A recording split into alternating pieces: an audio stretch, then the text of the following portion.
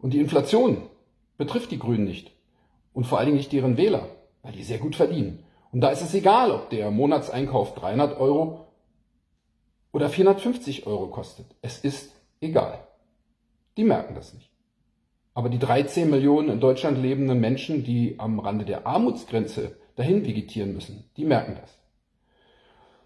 Und die Mutter und der Vater, die kleine Familie, die zur Arbeit pendeln und sich das Benzin nicht mehr leisten können, die merken das auch. Und übrigens, by the way, unsere Benzinpreise sind nicht so hoch, weil der böse Russe da irgendwas gemacht hat, sondern weil die Steuern auf Benzin so hoch sind.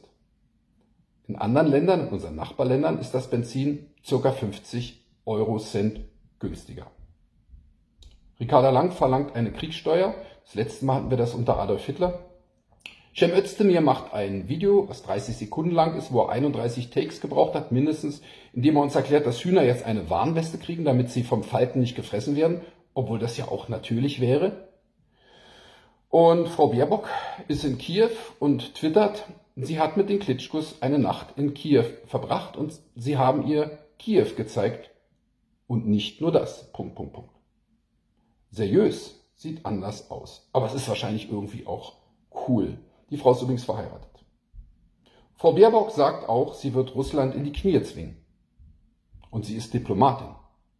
Im Grunde genommen unsere oberste Diplomatin, nämlich unsere Außenministerin. Frau Baerbock, Verständigung kommt von Verstand. Ja, und die, das Propagieren der E-Autos nimmt inzwischen religiöse Züge an. Ebenso übrigens auch wie das Propagieren der Corona-Maßnahmen. Längst ist durchgetragen,